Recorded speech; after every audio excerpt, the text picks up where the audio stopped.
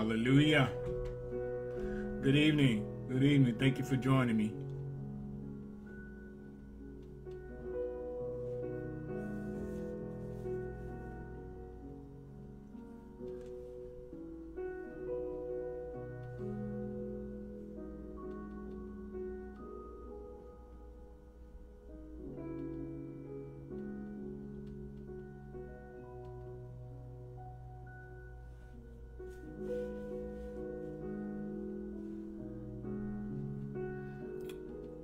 Praise the Lord. Good to see you, sis, tonight. Thank you for joining. Appreciate it. Webster, LaShonda, Rossetti. God bless you all for joining tonight. We're going to have a great lesson um, from the book, The Battlefield of the Mind. We're still studying that same subject. There's so much in that book that's enriching to us our spiritual growth.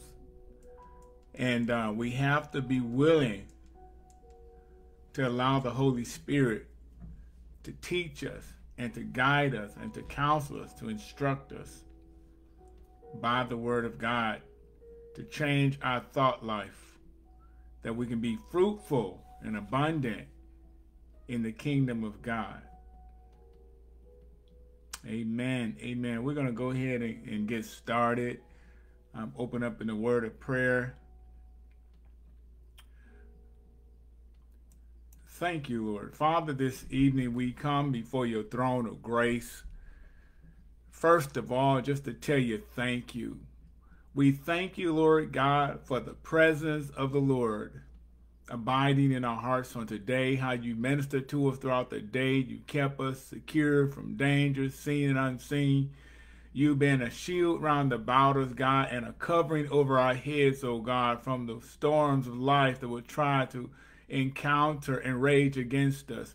Yet, God, we still give you glory. We give you praise, oh God, for this opportunity we are gathered tonight to learn your word. We ask today, Father, you speak to our hearts by divine revelation from the Logos and speak a Rhema word, a specific spoken word from the heart of God that will reach our hearts to the core to help change, revive, to transform our thought life to be more fruitful and abundant in the kingdom of God, that we think kingdom mindedness of oh God, that we live according to the word of God and the dictates of the leadership of the Holy Spirit.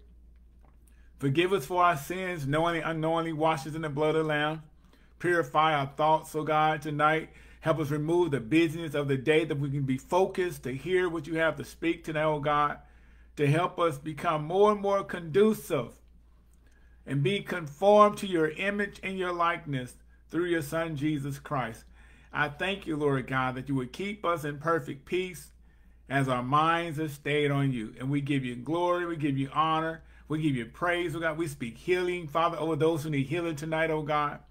Those who lost loved ones, to be their comfort and their strength, oh God, to endure the hardship, the disappointments, the grieving hour, oh God, that you give them joy in place of sorrow. Peace, oh God, that transcend their minds, begin to think on the good things, oh God, that you have done for their lives in the name of Jesus. We thank you. In Jesus' name we pray. Amen. Amen. God bless you. God bless you tonight. Again, thank you for joining. Tonight we're going to continue our discussion from the book, The Battlefield of the Mind.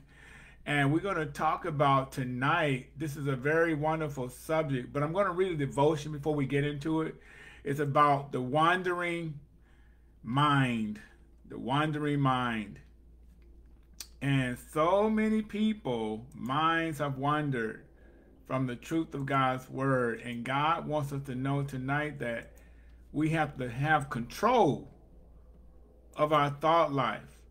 We talked about a couple of weeks ago the busy, how our minds become so busy and distracted and distorted with so much going on around us and in our lives. And the enemy uses it as a playground to keep you in a place of fear, doubt, unbelief, and bondage. And God wants us to know tonight that we sometimes find ourselves living in a wandering mind where our mind just wanders We're trying to figure out how to fix things going on wrong in our lives. We're trying to fix our problems. We kind of change, trying to change things that only God has the power to do. We we try to rush God in delivering us in areas of our lives we need deliverance. And and the, the most thing that's so important I found out in this Christian walk is having the love of God and patience. The love of God and patience.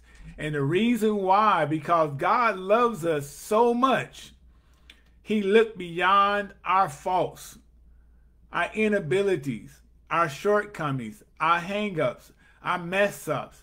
And guess what He did? He showed us mercy and compassion. And then He poured out grace upon us. The grace when we couldn't even get ourselves right, fix our own selves up to come into His presence, never measure up he did it all through his son Jesus, that we have the right to come before God for ourselves.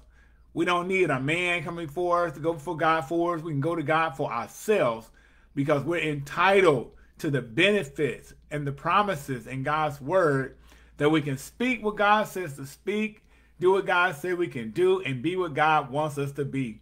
Amen.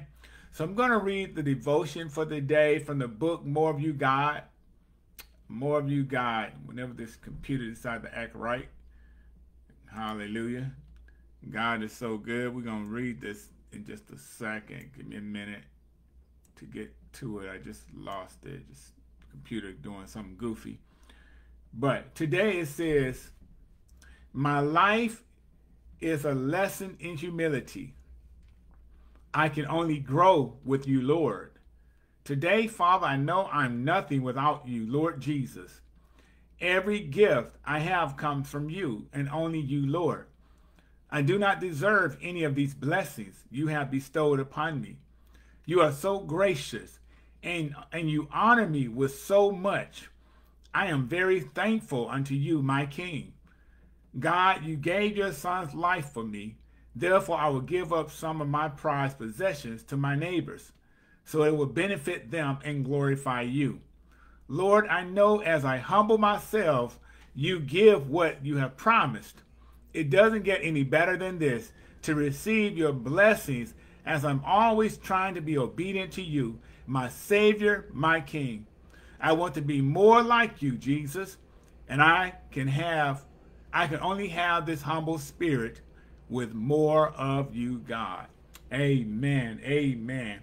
So God wants us to be in a place of humility in our hearts and our, in our mindsets where every precious promise and blessing he has for us can begin to be revealed to us by our humility and obedience. Many times we make mistakes, we mess up, we fall short of God's glory, but nevertheless, every blessing, even just getting up in the morning is a blessing. Having a breath of life is a blessing. Why? Because you could have been dead. And, but yet God saw fit to wake us up another day, gave us another chance, another opportunity to do better than what we did on yesterday. And that's the, the love that God has for us, that he looked beyond our faults and he saw our need. He gave his son to be our example that we can overcome any obstacle in our lives as long as we have more of God in us. Amen.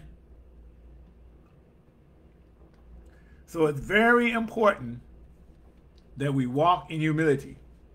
It's very important that we humble ourselves before the mighty hand of God, that God will have his way in our lives. Amen. We're going to get into our lesson in just a second computer acting goofy tonight for some strange reason, but it's okay because God is still in control. Give me one second here. But I pray everyone is having a, a beautiful day, that you're standing firm in the faith, and no matter what's going on in your life, that God is strengthening, God is encouraging you. He's leading, bringing you through the day victoriously. Because so many times the enemy wants to inflict us with fear, doubt, and unbelief. And he wants to keep us in a defeated mindset. And a couple of weeks ago, we talked about how the mind can be so busy. We can have so much going on in our mind till we drive ourselves crazy because we're trying to trying to fix this, trying to do that. Don't have enough time in the day to accomplish all the things I want to do. So we just get so bombarded in our minds, and people end up getting to depression, have mental illness, because they allow their minds to be filtrated with so much unnecessary things that distracts you from hearing the voice of the Holy Spirit. When the Holy Spirit is trying to speak to us, we don't hear his voice because we're distracted and our hearing has been clouded with all the busyness of the day to where we put God on the back burner and we put ourselves in the forefront. All our list of agenda and things we need to do and accomplish, we put that before God. So therefore, you have mixed priorities.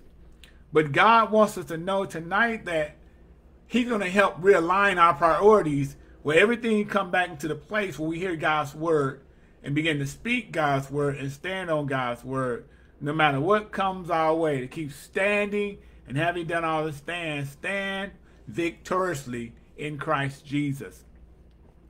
So if you follow me along in the book, in the Kindle version, I'm on page 77. In the Kindle version, page 77, I'm not sure what the regular book is. I don't have the regular book. I just have the Kindle version. But I'm on page 77, chapter 9. And it says, a wandering. And that's W A N D E R I N G. And then the other one is wandering, W O N D E R I N G. So if you think about wandering, wandering is one word is thinking, it's dealing with the thought life. And the other word, wandering, is a pathway that we choose to follow. So I'm wandering into the wilderness. I'm wandering into a place I shouldn't go. But in our thought life, it's wandering, W A N D E R N G, because that type of wandering is dealing with the, the capacity of the mind. How with so many different thoughts that the enemy feeds us throughout the day, so our minds begin to wander. You're trying to figure out what to decipher, what to use, what to discard. And sometimes we hold on to every thought the enemy feeds us, and our minds becomes entrapped in a place of wandering away from God. So in the previous chapter, actually First Peter chapter 1. Let me go there. First Peter chapter 1. First Peter chapter 1 in verse 13. 1 Peter chapter 1 verse 13. It says, "Wherefore gird up your loins of your mind, be sober, and hope to the end for the grace that is to be brought unto you at the revelation of Jesus Christ." So, in the New Living Translation, it says it like this. So prepare your minds for action and exercise self-control. Put all your hope in the gracious salvation that will come to you when Jesus Christ is revealed to the world. So we have to get to the place of a daily practice a habitual lifestyle of preparing our minds to receive the salvation of Jesus Christ when he is revealed to you and to the world. And one way to prepare your mind is to daily get into the Word of God. Find your favorite scripture. Meditate on that scripture. Ponder that scripture. Devour that scripture until it becomes part of your life to your mind, rememorize that scripture. And when that scripture's in your mind, your body to follow suit because whatever the mind tells the body to do is what the body's to do. Just like if my mind tells me I have a headache and I begin to ponder that thought, I have a headache, guess what's to happen? My body to follow suit and I'm to have a headache because I confessed it. I heard the thought. I accepted the thought. I received the thought. Therefore, my mind is now entrapped with the thought that I have a headache. In the previous chapter, we stated that the mind, a mind too busy, is abnormal. So we talked about the normal and the abnormal mindset. Another condition of mind that is abnormal is for to be wandering all over the place. An inability to concentrate in, indicates mental attack from the devil. If you find yourself in, in a predicament where your mind is all over the place, and what I mean by that, the Holy Spirit tells you it's time to consecrate, to get to the place of fasting and praying and seeking the face of God, which requires getting into the Word of God. So, you know what the Lord spoke to you to do, and your flesh begins to rise up and says, you know what? I know God want me to consecrate and pray right now, but I need to feed my stomach. I'm hungry. So my mind begins to think when I should be praying, I'm hungry. So I'm not focused. Then it says, well, you know, I need to run these errands. I got things I need to do in the process of taking this time out of seeking God's face, of praying and, and fasting. So I get distracted. But all the stuff in my mind, because I let my mind wander into the pathway of all these thoughts until my body begins to wander away from the consecration and the fasting seeking God's face. So now I got to a place where I wander, now I'm wandering. So I wander from the truth, now I'm wandering in the flesh away from God to do what I want to do to appease my flesh. So if you don't have a mind that's consecrated, indicates it's a mental attack from the enemy. Many people have spent years allowing their minds to wander because they never applied principles of discipline to their thought life. And that is a very true statement. Just like when you're growing up or raising your children in their learning education, they have to learn how to apply discipline to their minds to receive the information that they're being taught. And once they're receiving the information, then they have to learn how to apply the information for the things they have heard and the things they were taught about. That's how the enemy does to us because he knows when God is trying to convey a message to us, he'll bring everything in his power to cause you to lose your focus, which is distractions, which cause your mind to wander. So if you're wandering in your thought life, you'll never find yourself in a place where God can deliver you and strengthen you and empower you and cause you to have a balanced, focused mindset. Quite often, people who cannot seem to consecrate think they are mentally deficient. However, an inability to concentrate can be the result of years of letting the mind do whatever it wants to do whenever it wants to do it. A lack of concentration can also be a symptom of vitamin deficiency.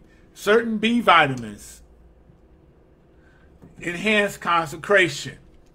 Therefore, if you have an inability to concentrate, ask yourself if you're eating it right and, and are you nutritionally sound. So even food, certain foods you eat, you know, certain vitamins you take can enable you to have a productive mind, a consecrated mindset. But there are things we can eat and things that we, we take that can do harm to our mentality. It causes you to lose the nutrients to keep your to keep your mind from being balanced. And the enemy knows that if I can distract you and cause you to eat all the sugar and candy and cookies and cakes and all these different things, that's that's sugars that's not productive to the mindset. So your mind becomes sluggish, so your body gets sluggish. And that's why so many people find themselves so tired and drained throughout the day because you haven't been feeding on the proper nutrition. I take vitamins every day. I'm always energized. And, and the reason why because God told me a long time ago when I was sick with cancer that I needed to change my diet. Not only change my diet, but incorporate more vitamins and herbs into my diet. And as I've done that, I found myself be, becoming more product, productive and consecration in my mind became more clear. So now if I think about certain thoughts and it's not of God, I'm quick to recognize those thoughts and cast those thoughts down because it doesn't apply to the word of God to make it fruitful in my, in my body or my mind. So you have to be careful of the things you allow to enter into your mindset and the things you put into your body because it's not what goes into a man that defiles him, it's what, what comes out of you that causes you to be defiled or corrupt. Extreme fatigue can also affect consecration. I have found that when I am excessively tired, Satan will try to attack my mind because he knows it is more difficult to resist him during these times. You need to write that down. When you're extremely fatigued, the enemy knows that is the most vulnerable point he can attack you because he know your mind is not, not at rest, but you're distorted and distracted, so things become more difficult for you to resist him. And it's so important, and I found this out in my own personal life, that when I stay in the Word of God, apply the Word of God to my heart, it gets into my mind. So whatever goes in my mind goes into my heart. So when it gets in my heart, then it, becomes productive in my life. So when I am tired, even in the place of tiredness, I still minister. Someone can call me when I'm so tired, but yet the spirit inside of me is yet quick and alive and, and alert, I still can minister to somebody in my tired state. Because you have to apply discipline to your actions every day that your body will line up with the word of God by the mindset being changed by the word of God. Hear what I just said. Your body will line up with the word of God when your mindset is being changed by the word of God. Romans 12 and 2. Romans chapter 12 verse 2 says, and be not conformed to this world, but be ye transformed by the renewing of your mind. Why? Because the only way to be productive in my mind, I have to allow the Holy Spirit to change my thought life. In the New Living Translation, Romans chapter 12, verse 2, it says, Don't copy the behavior and the customs of this world, but let God transform you into a new person by changing the way you think. Let God transform you into a new person by the way you think. Then you will learn to know God's will for you, which is good and pleasing and perfect. All this I just read, it only will activate and become part of your life when you recognize that, hey, I need to get out of control to allow God to take control by disciplining my body to get into a place of consecration. I'm seeking God's face, having intimacy with God through his word, and I guarantee your thought life will begin to change. You cannot change your mindset by your own ability. You cannot change your actions by your own your own doing. Your own behavior must change by the spirit of the living God is very important to allow the Holy Spirit to be inside of you, to drive you to the point where you have no choice but to learn how to surrender, yield, and release yourself into his will that God's will be done in your life. One of my daughters had difficult difficulty concentrating during her childhood years. Reading was difficult for her because consecration and comprehension go hand in hand. Consecration concentration and comprehension goes hand in hand. So you got to have some understanding and you got to have some focus. That's what it's talking about. Concentration and comp comprehension goes hand in hand. Many children, even some adults, don't comprehend what they read. Their eyes scan the words on the page, but their minds do, do not really understand what is being read. I remember growing up in, in middle school, I had problems reading and I would read to do my assignments that they would have you go home and do.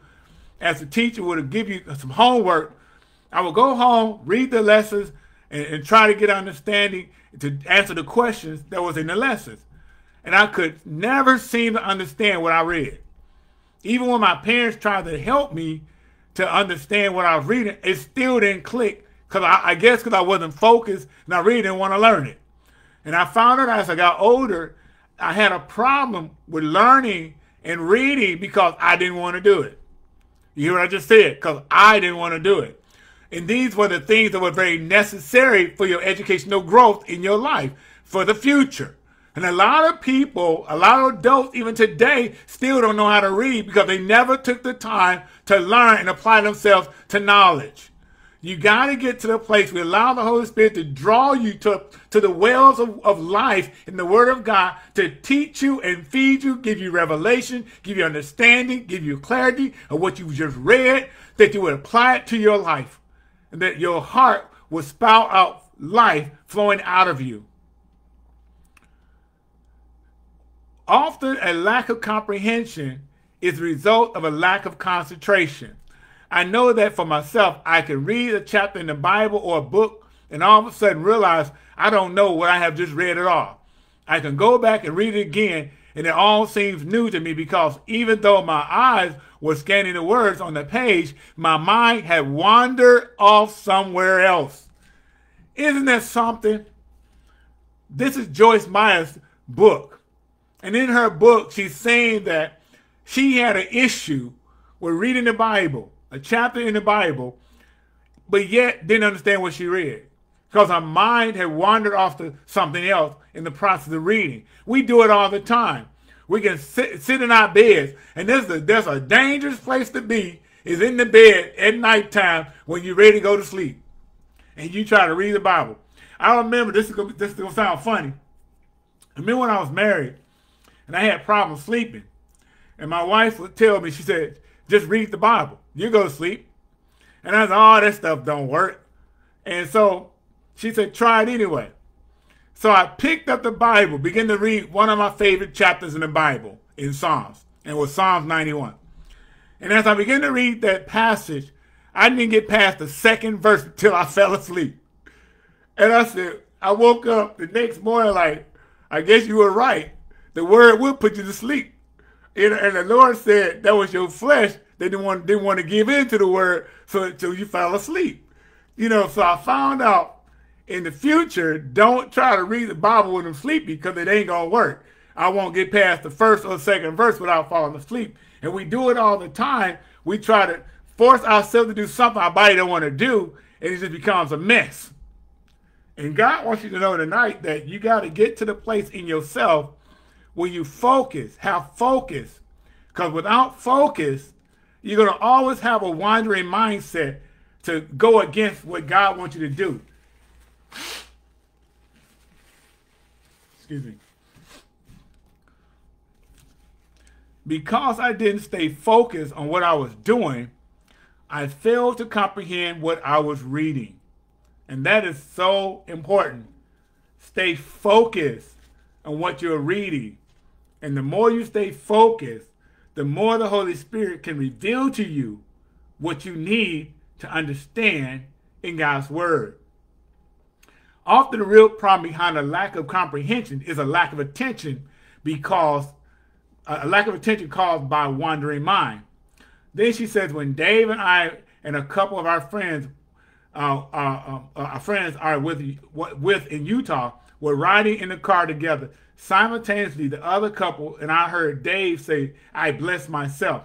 We laughed when we all realized that even, even though Dave had sneezed loudly, one of us constantly heard him heard him because we all had gone somewhere else in our minds. I spoke up and said, sorry, I didn't hear you. I was in, in the office in St. Louis. The man in the back seat laughed and said, I was in Florida taking care of some business. His wife laughed and said, too said, I was in Dallas in my office handling a situation. In a few moments of time, there were three of us had all gone to another state mentally. Isn't that something? How in our minds, when it's something that we really don't want to pay attention to, we allow our minds to drift off to other places where we need to stay focused on what God is trying to speak to us. It showed us how quickly the mind can wander from what is really happening where we are. We laughed because Dave had had to bless himself since none of us were mentally there. It was funny, but it was also eye-opening to realize how I can lose awareness of what is happening around us and by not focusing on the present. And that happens a lot. We can lose our focus by focusing on everything else but what the Holy Spirit is trying to convey to us. When the Holy Spirit is trying to teach us something or trying to warn us of an entrapment of the enemy, because our minds are wandering, we miss the mark. We miss the revelation. We miss the truth. What God has spoke to us because we got distorted in our minds and our minds didn't come back to the place to hear what God was trying to warn us of. Just like it might be a pothole in the road that's about to tear your car up. Holy Spirit says you need to get over the next lane because there's something, some danger ahead of you. But if you're not paying attention, you listen to music and you, you're all focused on the music, you're not focused on the road, your mind on everything else, you hit that pothole, all of a sudden you blow your tire. All because you got distorted. I remember in Texas, when I was coming home early in the morning, I was so tired. I had this security third shift. And as I was driving home, I was not paying attention because I was tired. I wanted to get home right away so I can go to sleep. So I tried to outrun the traffic in the right lane and go around them. And because I, I was speeding ahead of them, I hit a curve about two inches high. Hit that curve and bust my tire. And the Holy Spirit said, I tried to warn you, but you weren't listening. And it hit me when I had to pull off into a vacant parking lot and call tow truck to go on. And the Holy Spirit said, if you had to slow it down when I told you and stop speeding, you wouldn't have never had this accident. So I had to put my car in the shop after that for two weeks just so it can be fixed. Because I had tore up not just the tire, but not knowingly, I tore up even underneath the right side of my car under the frame. And they had to fix all that too. So it took them two weeks to fix my car for me to get it back. And that's how th quickly things can happen when your mind drifts from the Holy Spirit to follow after the dictates and leadership of your flesh. A wandering mind. Keep your foot, give your mind to what you are doing. And this is Ecclesiastes chapter 5, verse 1. Give your foot give your mind, it said, keep your foot, keep your, give your mind to what you are doing. So in other words, you gotta stay, pay attention. I believe the expression, keep your foot means don't lose your balance and get off track. The amplification of the phrase indicates that one stays on track by keeping his mind on what he is doing. It's very important as a believer to keep our minds on what we are doing. Some people are multi-talented. They can do several things at one time. I'm a person, I have to do th one thing at a time. If I try to do uh, many things at one time, I mess up everything. And one thing about this scripture, we got to stay firm-footed and rooted in Christ Jesus to where it doesn't matter what the enemy brings our way, I would not be distracted. I would not get off track. It's easy to get off track when you stop looking at the mark that's before you, which is Christ Jesus. I had a wandering mind and had to train it by, by discipline. It was not easy. Sometimes I still had a relapse. While trying to complete some projects, I would suddenly realize that my mind was just wandering off onto something else that has nothing to do with the issue at hand. Many people do that. They have an issue that's before them something that's very important they need to take care of. But you allow other things to come along to get you off track. And you never solve your issue. You never allow the Holy Spirit to give you revelation, give you understanding to solve the main thing you need to do that's before you. Because you allow everything else to take precedence in your priority list for that moment. It's very important that we get to the place where we say, okay, Lord, Today, I'm going to let you have the driver's seat. I'm going to sit back and let you drive me to the place I need to go in you that I can be more fruitful. I can be abundantly supplied with the wisdom, the knowledge, the understanding, get a revelation from the heart of God to accomplish the things I need to do for the kingdom of God. Everything else takes secondary.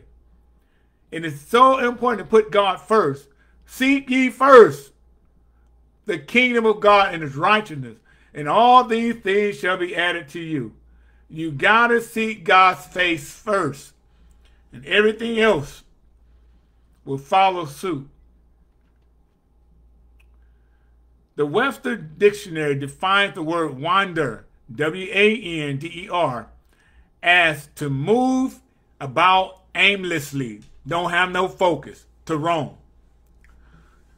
To go by an indirection route, to go by an indirect route, or at no set pace, amble. To proceed in an irregular course or action, meander. To think or express one's self unclearly or incoherently or, or incoherently. And that's what a lot of us do. We we have aimless thoughts. We have no set focus. Our course of action is off track. And we are uncertain of what we need to do. Because I haven't did what the word says, but seek ye first the kingdom of God and his righteousness, and all these things shall be added to you. So every time we get to the place in ourselves, we don't put God first. Who who we putting first? The enemy. And the enemy loves it. He loves when a believer gets off track. He loves when a believer puts themselves first and put God secondary. Why? Because he knows that I can keep your eyes on everything else.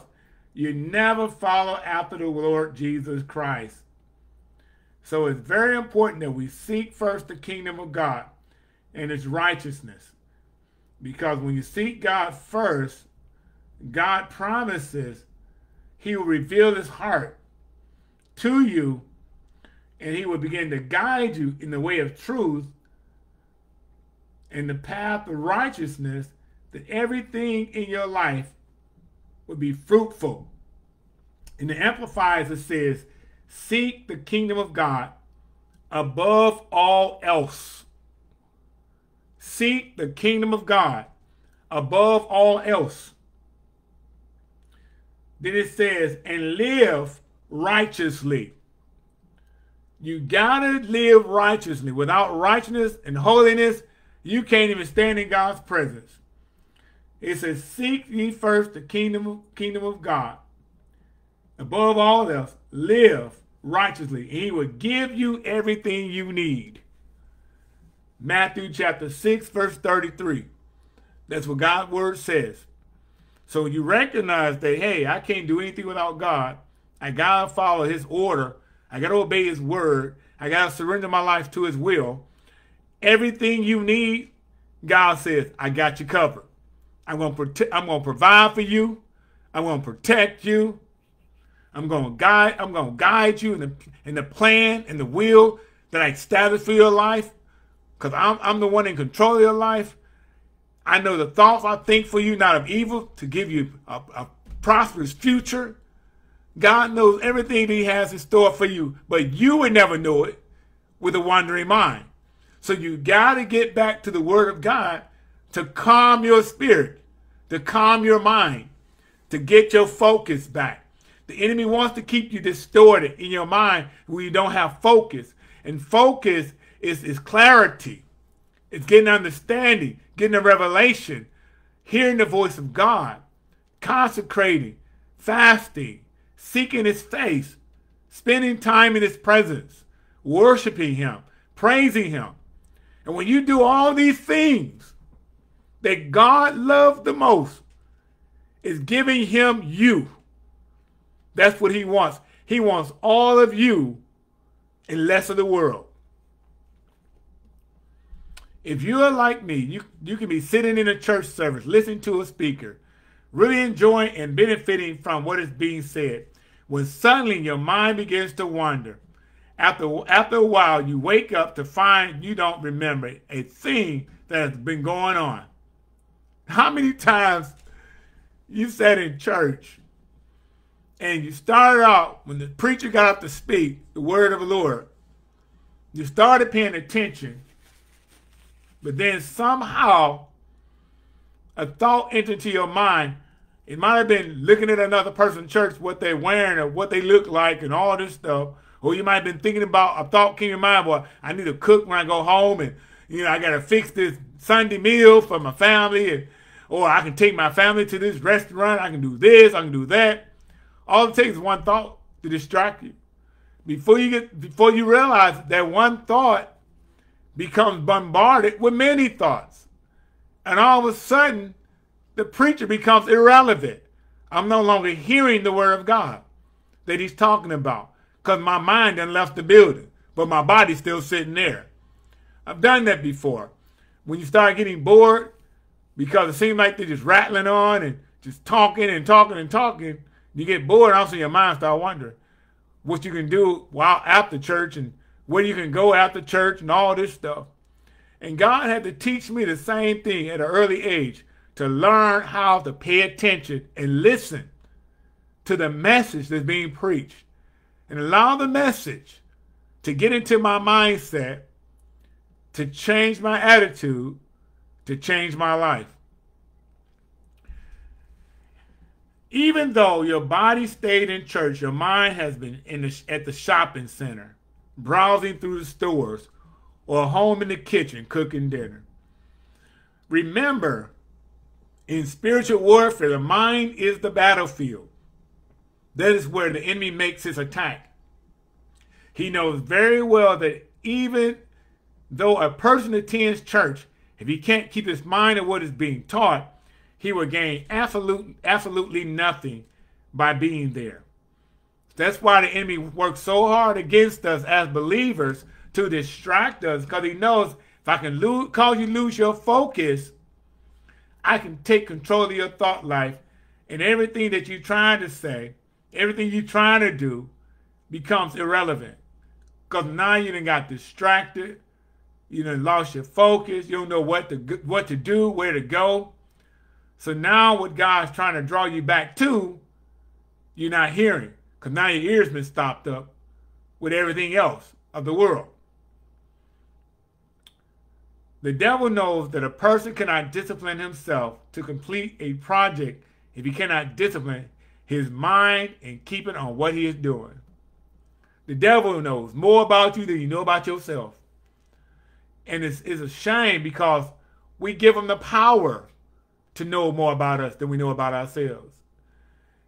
And a lot of times, sicknesses enter into our bodies because we don't have the power in our minds to say no to his, to his influences or to his voice or to his words. So he'll speak sickness over you, he'll speak poverty over you, he'll speak lack over you, and you take it as if it's doctrine. And you apply it to your mindset, your body's only going to respond. I said in the beginning, your mind is only going to respond and behave to whatever the thought life is. If your thought life is corrupt, just like a computer, when a computer has been infiltrated with a virus, that virus destroys the hard drive. And the only way to fix that thing is to wipe the hard drive clean and re, re, refactor it back to the factory setting. God did that with Jesus Christ in our lives. He refactored us back to the factory setting of his image and his likeness when sin dominated us before Christ came into our lives. And when Christ came into our lives, that's when God changed our thought life to begin to think that I am somebody important in the eyes of God. I'm a person of value. God loves me. God cares about me. I'm, a, I'm his prized possession. I'm a royal priesthood. I'm a holy nation. I'm a peculiar person in the eyes of God. Why? Because he paid the price for me to receive the new life by receiving his son as my Lord and Savior. This wandering mind phenomenon also occurred during conversation. There are times when my husband Dave is talking to me and I listen for a while.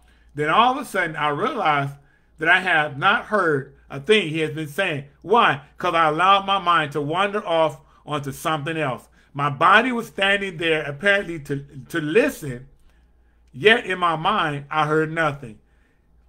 I remember growing up as a teenager, even a young, younger than that, when I would be in trouble for something I did. I knew how to be in your face and hear you saying everything you saying to me and tune it out. My, my mom, my dad would scold me. I would stand there, be looking in their face, hearing everything they're saying. And then they say, have you heard me? And I say, no. What did you say? Because I tuned them out. In my mind, I went somewhere else, outside playing with my friends, instead of standing there listening to them discipline me or punish me. So in return, I got a whipping because I wasn't paying attention. So they told me again, as they were whipping me, this is what I told you.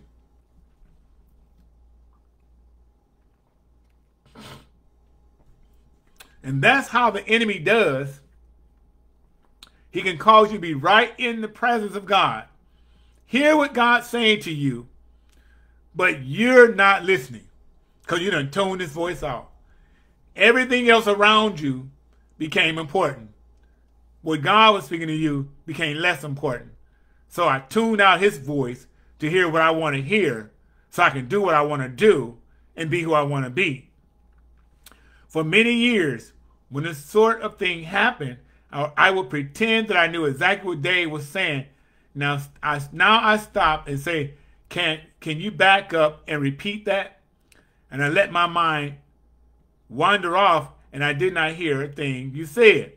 So, so what she's saying here, sometimes when we don't hear what God is saying to us, we have to pause, put the brakes on, hold the press, and ask God, God, can you repeat that again to me? I didn't hear you, God, because my mind was distorted. I was focused on satisfying my flesh, doing what I want to do, so I didn't hear your voice. In this way, I feel that at least I am dealing with the problem. Confronting issues, confronting issues is the only way to get on to the victorious side of them. You got to confront your issues. When you confront your issues, then your mind has no choice to restructure, to refocus, to get rebalanced. So you can hear what an individual is speaking to you, even what God is speaking to you. I decided that the devil went to trouble to attack me with a wandering mind, then perhaps something was being said that I needed to hear. One way to combat the enemy in this area is by taking advantage of a recorded message provided by the most churches. If you haven't learned to discipline your mind to keep it on what is being said in church, then buy a recording of the sermon each week and listen to it as many times as you need in order to get the message. The devil will give up when he sees that you're not going to give in. The devil will give up when he sees that you're not going to give in. So even getting a recording of the message at church and all the different different recordings of sermons from other, other ministries that captivate your attention, to feed your spirit, to feed your mind, get them. Because I guarantee the more you keep the word in your ears, it goes into your mindset. Your ear gate will be guarded by the word and it gets into your heart because it goes into your thought life. And when it gets into your thought life, it gets into your heart. Then you're going to remember certain phrases that's going to trigger when you hear them again Hey, this is what God said to me the other day. I was listening to a message by Pastor Furtick or, or, or Joel Osteen or T.D. Jakes, and they said this and they said that, and that stuck with me. So when you said this one phrase, it brought it back to my remembrance. That's how God does.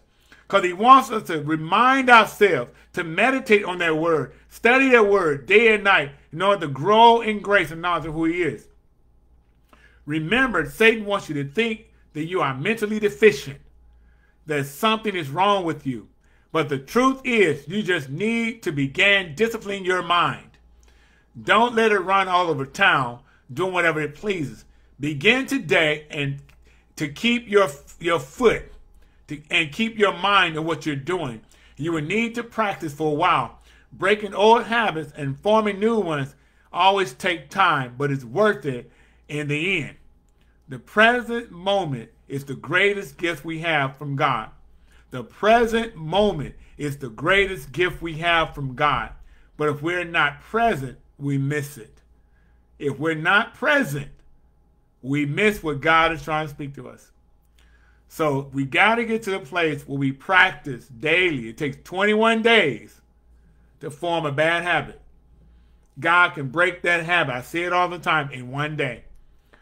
21 days to perform a bad habit and keep that habit going in your life.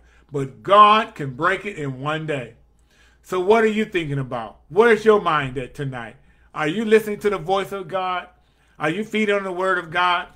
Or have, or have your mind wander? And I guarantee tonight, after hearing this word, God is going to speak to you and remind you of something that's been said tonight that's going to trigger you to get in your Bible and begin to study the Word of God and allow the Word of God to bring you to a place of focus and discipline and well-balanced mindset.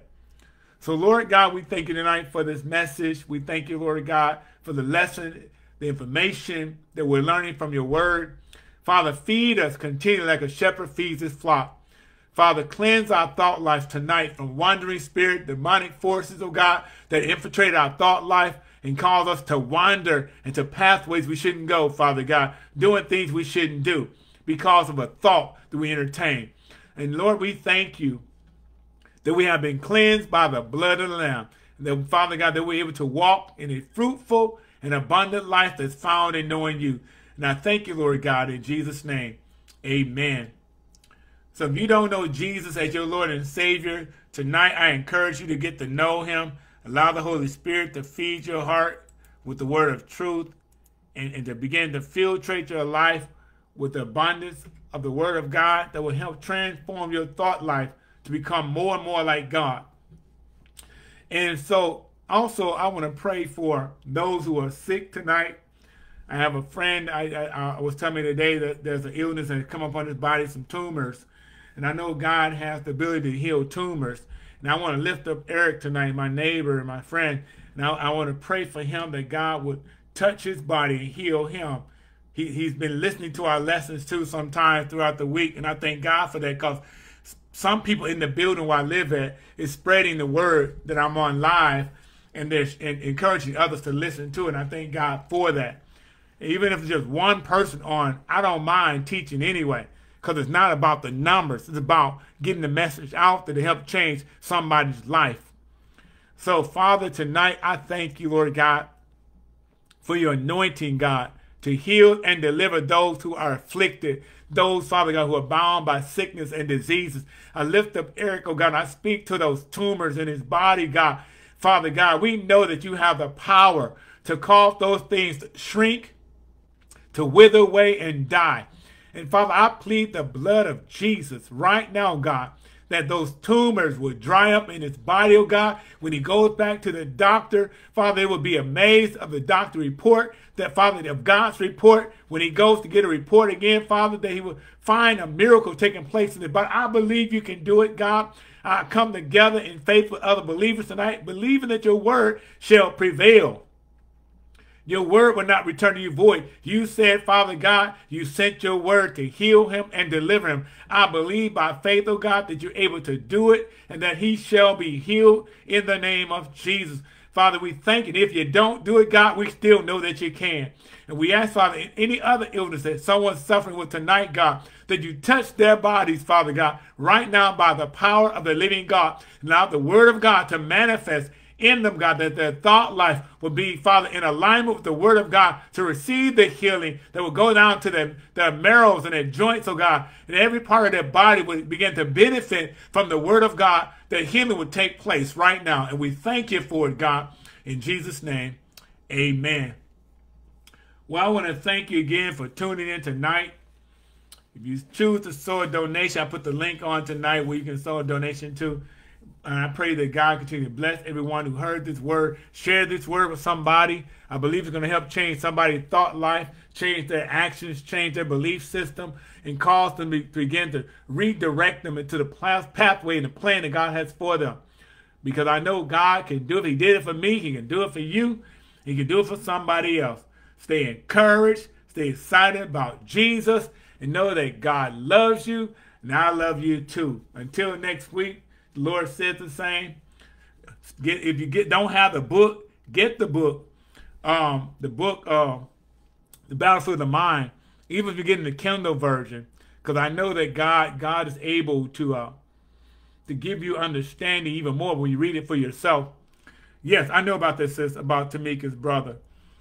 So, Father, we lift up, Father, the Wright family right now, God. We thank you for, Father, for comfort during that time of loss, oh God. As uh, Tamika's brother has passed away, Father, a couple of days ago, we just pray that you begin to be their strength, oh God, to endure this, this time of grief, to carry them through, Father God, and that you help build them up, oh God, where they seem to be torn down in their trust and belief in you, God, to know that all things still work together for the good because you love them and you care for them in such a special, divine way. And we thank you, Lord God, in Jesus' name, amen.